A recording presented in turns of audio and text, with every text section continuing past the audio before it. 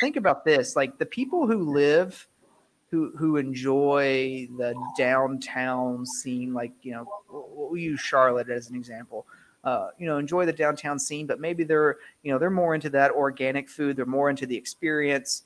Like those are the type of people who are moving to the suburbs and the and the rural areas to uh, move to these type of tiny home communities because that fits that fits what they're looking at. Like they're looking for they like the people around them. They like all you know the community aspect but they also like these other things like organic farms which are a big component of a lot of those communities um, or you know communal uh, communal fire pits and you know all, all, you know all the all the good stuff. So yeah, yeah it, it is interesting and and uh, i would I would love to be a part of a tiny home community.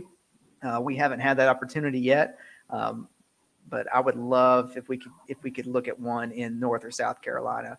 So well, if someone out there has an opportunity for that, uh, please reach out to us. We'd love to, to talk to you about it. all I have to do is make that announcement today, and we'll have somebody in the pipeline because I've got 200 people in front of me that are ready to do it. yeah, awesome, awesome. Yeah, and uh, one of the things I did want to say, um, just to put it out there, uh, we will be uh, involved in a new construction um, senior living facility. Mm-hmm.